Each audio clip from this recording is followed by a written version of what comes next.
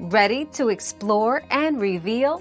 Dive into today's question and uncover the answers together. A synonym for the word prorated is apportioned.